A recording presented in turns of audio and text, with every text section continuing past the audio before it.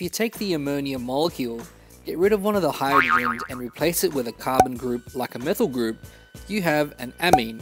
This is the amine functional group and these compounds are usually represented with this general formula, where R is the rest of the hydrocarbon chain. So let's do some naming.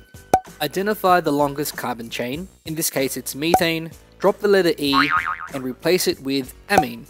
Amine functional group is given priority, so any alkyl groups are named according to standard conventions from this position. So this amine will just be called methanamine. Methylamine is also acceptable as it really is just a methyl group attached to the functional group. Let's grow this chain. The longest chain in this example contains 3 carbons, so we know its parent chain is propane. Drop the E and change it to amine.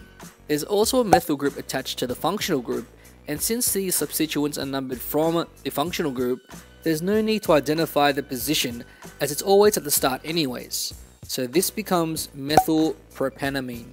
Okay, Next level. The longest chain is butane, drop the E and replace it with amine. It also contains a methyl group here and here. Since the amine is given priority, we'll number the carbons giving it the lowest possible position. So this becomes 2,3-dimethyl 2-butanamine. Okay, last one. Well, it looks like there are three methyl groups attached to the nitrogen. This is called trimethylamine.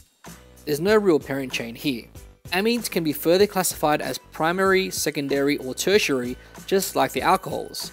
These are known as primary amines as they only have one alkyl group attached to the nitrogen.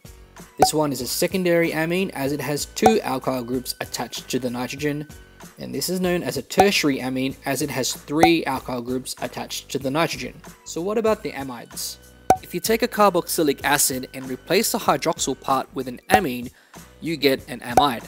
These have these general structural formulas where each R can either be an alkyl group or a hydrogen atom. Have a gaze at this one. The longest chain that contains the amide functional group is ethane. So drop the E and replace it with amide. So this becomes ethanamide. If there's a methyl group attached to the nitrogen, the location is noted as N, as in N for the nitrogen. So this becomes N-methylethanamide. If there's two methyl groups attached to the N, then it becomes NN dimethyl ethanamide. Like all homologous series, the boiling point of amines increase with carbon chain as there are more dispersion forces occurring. But when comparing primary amines to primary alcohols, it's alcohols that win this battle, as the hydrogen bonding between neighboring alcohols is stronger than the hydrogen bonding between neighboring amines.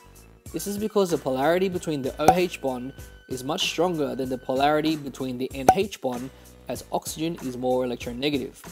Therefore, more energy is needed to overcome the intermolecular forces.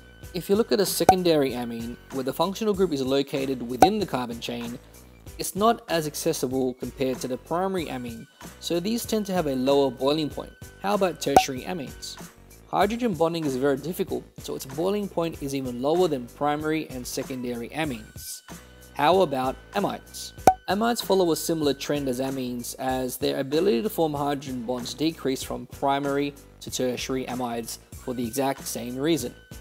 Small chained amines and amides are both soluble as they can form hydrogen bonds with water molecules depending on the ease of accessibility.